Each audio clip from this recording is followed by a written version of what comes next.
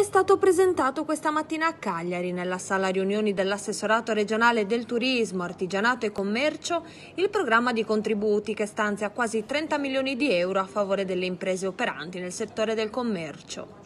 L'obiettivo è aiutare le piccole e medie imprese, incentivare investimenti e tutelare i livelli occupazionali per le imprese del settore commercio che sono state pesantemente colpite dalla crisi determinata dall'emergenza sanitaria. Il programma è stato presentato dall'assessore al turismo Gianni Chessa alla presenza dell'assessore della programmazione Giuseppe Fasolino e delle associazioni di categoria.